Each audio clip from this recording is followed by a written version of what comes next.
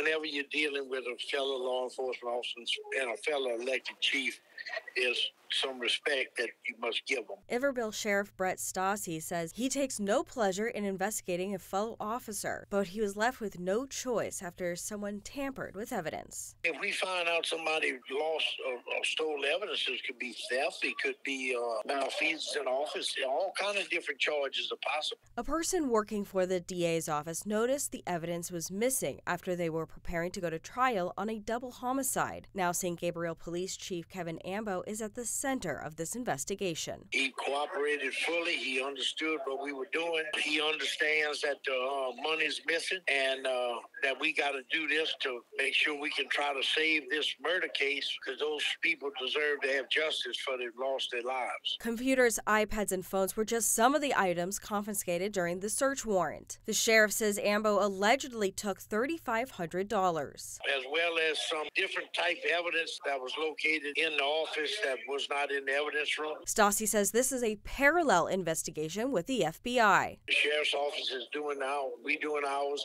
and the FBI are doing theirs. While Ambeau is being investigated, others have not been ruled out. He's not the only suspect. We have some evidence that led us to believe that uh, he had some dealings with the evidence that was taken from this scene. Ariel Salk, Fox 44 News.